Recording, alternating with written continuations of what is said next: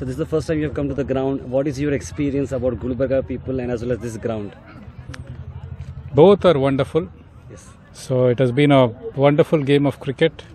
I think more than any team, it is cricket that has won uh, for the day.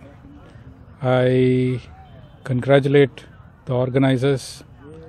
They have uh, given us a wonderful game, Exactly.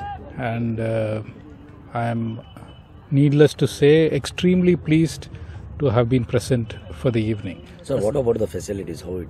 facilities are absolutely second to none. Um, it is it is such a pleasure to see uh, so much of green in um, Gulbarga.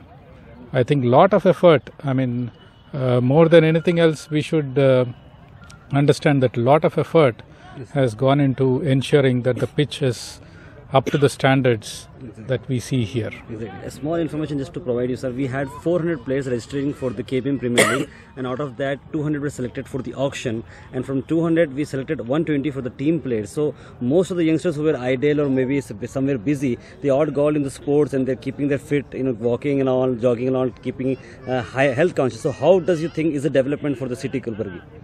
See, I was watching the youth who were playing today. Uh, I can make out that many of them are local boys. Yes. Maybe all of them are local boys. yes, fact. And uh, uh, they have been able to provide uh, a wonderful game. See, more than anything else, more than the cash prize or more than the uh, win, it is the fact that they are being recognized by the people. They feel that they have contributed in a very positive manner to the society, and uh, the fact that they are able to achieve something in the society will definitely build up the confidence and personality of all these young people.